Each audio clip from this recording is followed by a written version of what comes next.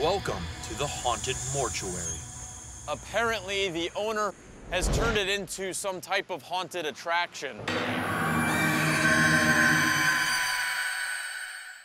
This building was once home to one of New Orleans' most renowned mortuaries, P.J. McMahon and Sons. Over the course of its 60 years of operation, this full-service facility hosted the passing of nearly 20,000 souls. While today the building is a public space, we wonder if its previous incarnation has any bearing on the activity here. We was doing a tour here, but I was following behind the group with a 35 millimeter camera, and I was just randomly taking pictures. When dropped off the pictures at Walgreens and picked them up the next morning, there's a picture of a small girl. Right here, right? Yep, that's her. Holy cow. Do you see the little girl? Yeah, I saw it. It's crazy. Brown, black hair, face, little white dress. It's an amazing picture.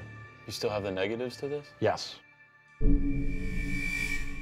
By examining the original negative and matching it to the positive print, we can rule out any digital manipulation or trickery. Furthermore, Lance shares with us another negative and print of the same composition, which he took seconds earlier and shows no apparition, which legitimizes this photographic evidence.